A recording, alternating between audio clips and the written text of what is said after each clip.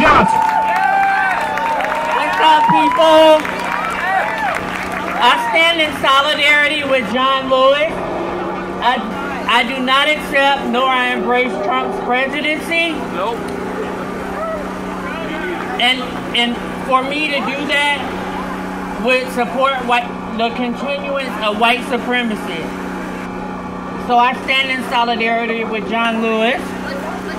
Um, talk about black futures. Black futures are important for the uh, black trans women's legacy. To build black future is to invest in reparations for black trans women. I ask that everybody, it really feels good to be here and see the diversity in race and culture. But I also come to share to, with you that you will not win without black trans women and men. You will not win without us.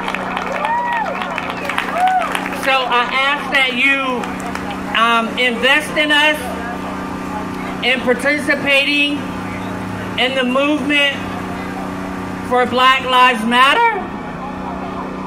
I ask that you um, invest in us in working with dismantling all criminal justice systems, all prison systems that black uh, that oppress black folks.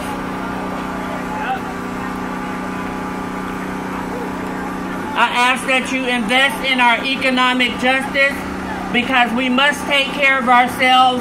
We must heal from all the systems of oppression and trauma that we face. And I ask that you invest in our healing, justice, and reparations as we stand in solidarity with everybody here. And just wanted to wish everybody a happy MLK Day. Thank you.